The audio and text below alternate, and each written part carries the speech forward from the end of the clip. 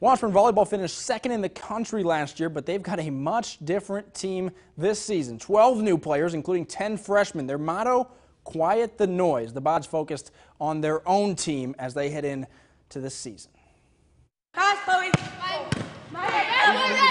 Look forward, eyes forward, and keep what we can do to keep the momentum going forward with this new group. Trying to live up to a team that went to the national title game can be a challenge. There is a lot of outside noise. Everyone talking about how successful we were last year and how great of a season it was. But this team refuses to live in the past. It is definitely a little bit intimidating, but we're not going to let that get to us. We're going to find this group, get together, and get to where we need to be. You know, obviously, we look completely different than, than last year's team.